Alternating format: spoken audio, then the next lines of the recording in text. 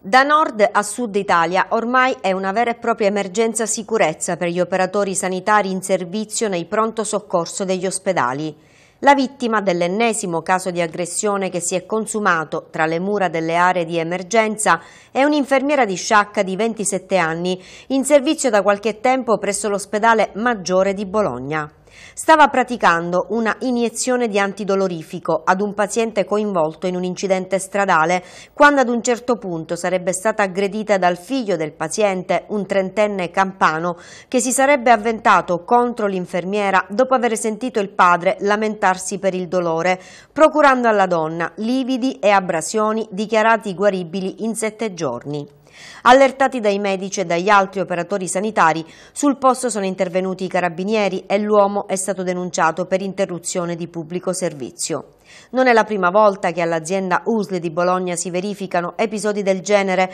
tant'è che la regione Emilia-Romagna non a caso sta lavorando ad un piano per la sicurezza. Episodi di violenza che si ripetono e che interessano non solo gli ospedali del sud, un caso analogo ha riguardato qualche mese fa un infermiere dell'area di emergenza del Giovanni Paolo II di Sciacca, ma anche quelli delle regioni settentrionali. Ed il pronto soccorso rimane il reparto che detiene questo triste primato, con la maggior parte delle aggressioni che avvengono proprio ai danni di medici ed operatori sanitari delle aree di emergenza, che un po' dappertutto scoppiano letteralmente di pazienti in attesa. Situazioni che generano ansie, nervosismo e momenti di grande tensione che in ogni caso non possono e non devono mai sfociare in episodi di violenza e aggressione ai danni del personale sanitario o ai danni di chi che sia.